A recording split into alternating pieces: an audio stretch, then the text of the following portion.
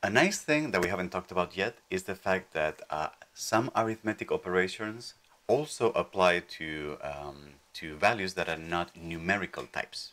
So for example, a very, very common operation is to join strings together using the plus symbol, the addition operator.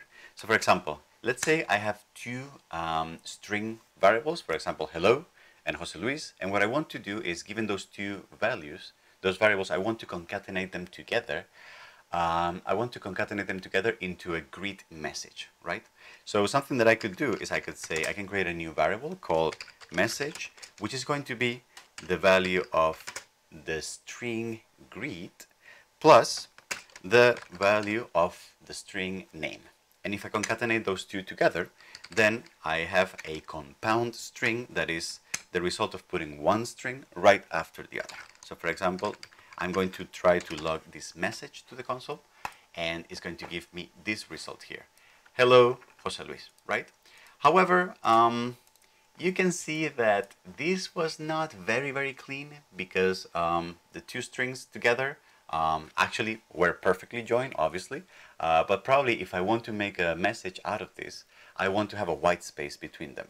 So something I can do also is like I can, while I am declaring this variable and giving it a value, I can also inline insert another string in the middle of these two, which can be just a white space. So for example, I can say the message is going to be the valuable the, the value of greet plus a white space plus the value of name.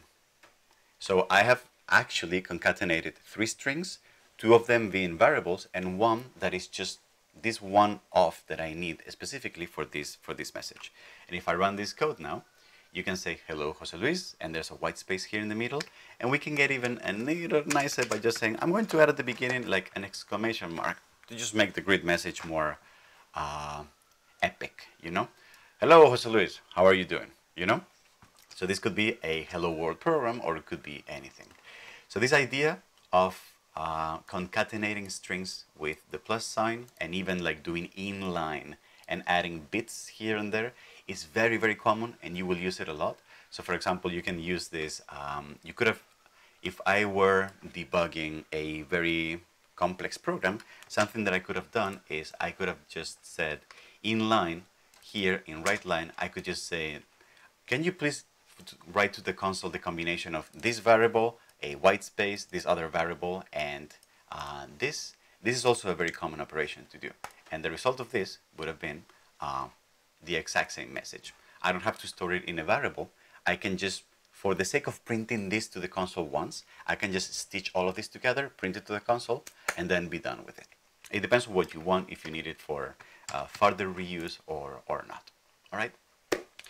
So this was string concatenation.